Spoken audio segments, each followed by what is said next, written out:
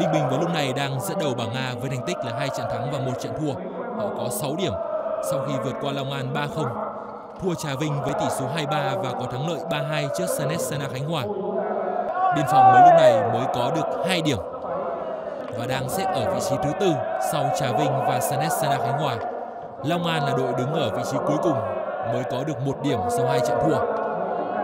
Số 18 Đào Nhất Minh và số 19 là Bùi Hữu Đạt.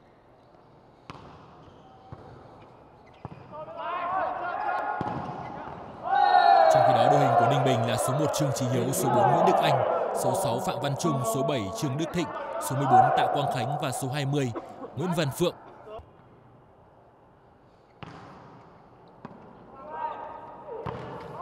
Chắn bóng tốt.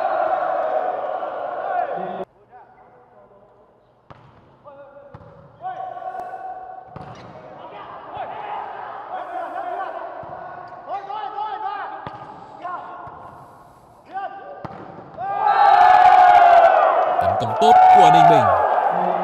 Nhưng phía Ninh Bình còn lỗi hơn. Với pha kết thúc không thành công của Đức Anh đã bị chắn lại. Rất chính xác. Từ tấn công của chủ công Văn Trung.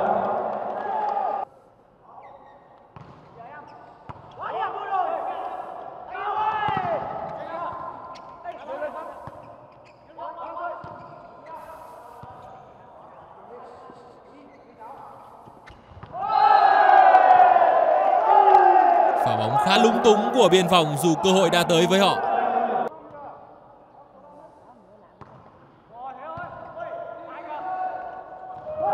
Dứt điểm trượt.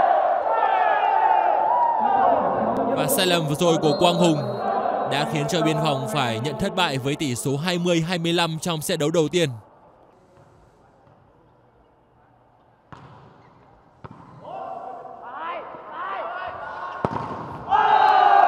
Chắn bóng tốt. Và chưa đội nào có thể bứt phá ở set đấu này.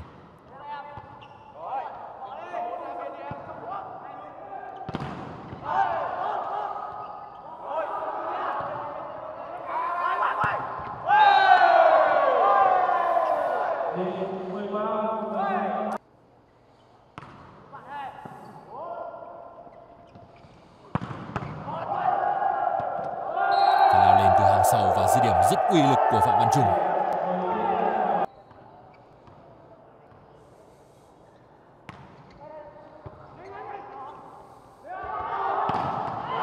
Đó là điểm số quyết định. Pha đập bóng uy lực của Trương Trí Hiếu và nó mang về chiến thắng 25-21 cho Ninh Bình ở xét đấu thứ hai. Sự cơ động của những mũi nhọn chạy bài tốt đang giúp cho Ninh Bình có những mảng miếng tấn công đa dạng hơn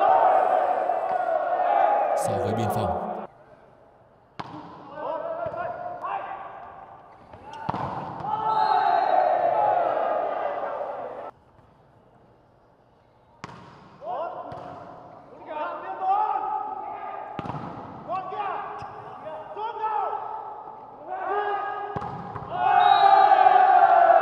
Tiếp tục là những điểm số tới từ cái tay chiều của Văn Trung.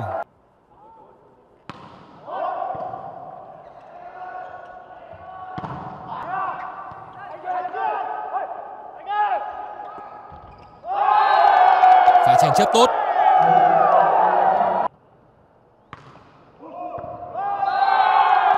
phá phát bóng và mang về điểm số ngay của Tạ Quang Khánh. Sai lầm trước đó là rất đáng trách của biên phòng. Và đây sẽ là cơ hội cho các chàng trai Ninh Bình.